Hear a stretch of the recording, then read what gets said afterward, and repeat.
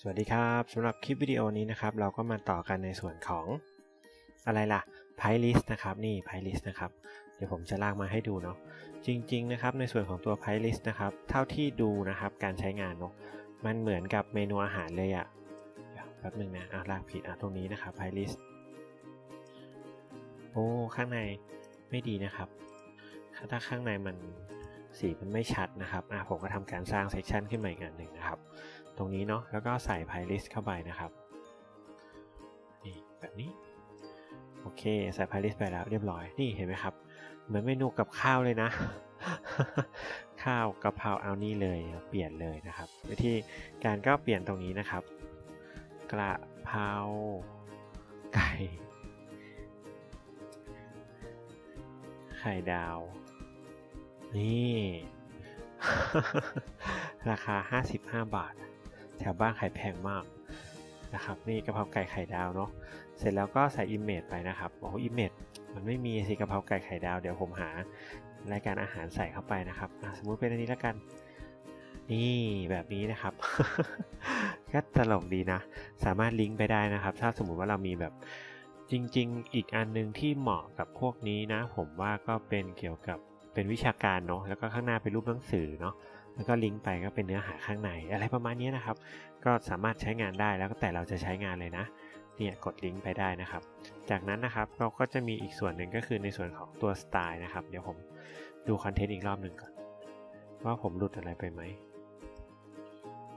โอเค มีเท่านี้นะครับ ก็มาอีกอันหนึ่งก็คือในส่วนของสไตล์นะครับ นี่ สามารถกำหนด ไทเทิลได้นะครับนี่ตัวนี้นะครับว่าให้เป็นสีอะไรเนาะผมเรียกเป็นสีดำไปเลยอขอโทษนะครับอายนิดนึง แล้วก็ในส่วนของ description นะครับผมก็เรียกเป็นสีเทาเข้มๆหน่อยนะครับหรือว่าจะเป็นดำไปเลยก็ได้นะอะโอเคประมาณนี้นะครับ ก็ดูเด่นชัดดีนะครับ อันนี้ก็เป็นกะเพราไก่ไข่ดาวเนาะแต่ว่าหาภาพไม่ได้ ตัว separator นะครับก็คือตัวนี้นะครับ เราสามารถเลือกได้นะครับว่าจะเป็นเส้นนะครับ เป็น dot นะครับ หรือว่าจะเลือกเป็น dash นะครับ หรือว่าเป็นดับเบิลนะครับ หรือว่าเป็นนอนนั่นนะครับนี่ไม่มีก็ได้ ผมว่าเป็นจุดเหมือนเดิมก็โอเคนะ เนี่ยประมาณนี้นะครับ เป็นจุดเหมือนเดิมก็โอเคอยู่ น้ำหนักก็คือเนี่ยครับลองลากดูเส้นมันจะหนาขึ้นเรื่อยๆนะ ผมบอกแค่ 2 ก็โอเคแล้วนะครับ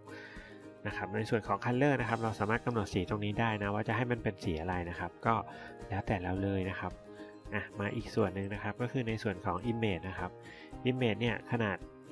เป็น image size นะครับ ถ้าลองเป็นนี้ก็จะใหญ่ขึ้นเนาะแล้วก็อันนี้นะครับก็จะใหญ่ขึ้นไปอีกนะครับ ตัวนี้นะครับก็มันอาจจะบางทีนะครับ ถ้าติดด้วยเรื่องข้อจำกัดของตัวขนาดที่ขยายไปไม่ได้แล้วเนี่ยภาพเขาก็จะชัดขึ้นนะครับ แต่จริงๆผมบอกว่าแค่เป็นแค่ทำเนียงแบบนี้ก็พอแล้ว นะครับ แล้วแต่เราจะตั้งค่าเลยนะครับ ก็จะมี border radius ให้อะไรพวกนี้นะครับ spacing spacing นี่ห่างจากภาพเท่าไหร่อะไรเงี้ย อันนี้ก็สามารถตั้งได้นะครับ ในส่วนอีกอันนึงก็คือในส่วนของไอเทมนะครับ low gap ครับก็คือระยะห่างระหว่างแถวเนาะ ผมบอกว่ามันลดลงหน่อย แบบนี้ก็ได้นะ เป็น bottom หรือว่าเป็น center นะครับ อันนี้ก็คือได้เมนูอาหารจริง ๆ เลยนะเนี่ย ถ้าสมมติว่ามาจัด vertical align เป็น center เนี่ย ก็ตรงเลยนะกะเพราไก่ไข่ดาวกดคลิกปุ๊บสั่งจ่ายตังค์โอ้โหเด็ดเบ็ดเสร็จ อะโอเคเรียบร้อยนะครับ ในส่วนของ p i list นะครับ ก็เพื่อนๆลองใช้ดูเนาะก็จะมี p i list อีกตัวหนึ่งนะครับ เดี๋ยวผมทำแยกไปเนาะตัวนี้จะเป็น p i list p i table นะครับ ก็เหมือนกับของ Elementor Pro ที่ตอนเราไปซื้อเนาะเขาจะมีอยู่ 3 ราคานะครับ ก็คือ แบบใช้ลายเส้นเดียว 3 ลายเส้นแล้วก็พันลายเส้นนะครับประมาณนั้น โอเคสำหรับคลิปนี้ก็เรียบร้อยแล้วเนาะเพื่อนๆอย่าลืมกดแชร์ให้ผมด้วยนะ จริงๆ อยากให้แชร์ไปเยอะๆ เพราะว่าทำฟรีแล้วไม่ค่อยมีคนดูเลยอะไม่อยากเก็บตังค์เลย ไม่อยากขายอะครับ หรือว่าใครจะซื้อก็บอกผมนะ เดี๋ยวผมจะได้เอาออกหมดแล้วก็เก็บตังค์แชร์ไปด้วยนะครับ ฝากแชร์ด้วยนะสำหรับคลิปนี้ก็เรียบร้อยนะครับ ขอบคุณนะครับ แล้วพบกันคลิปหน้า สวัสดีครับ